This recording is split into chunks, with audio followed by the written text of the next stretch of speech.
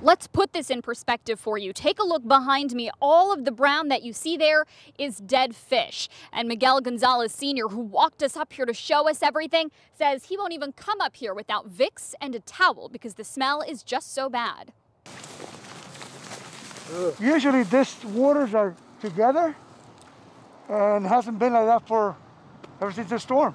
It's not the waterfront view Miguel Gonzalez Sr. wanted when he moved in last December. Everything you see that is brown, it looks like rocks, that's fish. For the past six days after Hurricane Irma made landfall, neighbors on southwest Dalton Circle have been smelling something, well, fishy. Just a few days ago, Gonzalez Well- Sr. stumbled onto this.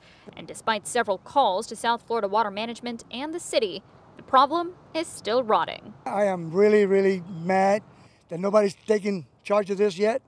They should have taken charge a while back. And it's not just dead fish, our cameras captured dead turtles. And Gonzalez Sr. says he's even seen alligators. In short, for the viewers at home who, who don't have the privilege of smelling this themselves, can you sort of describe what we're smelling right now? Death.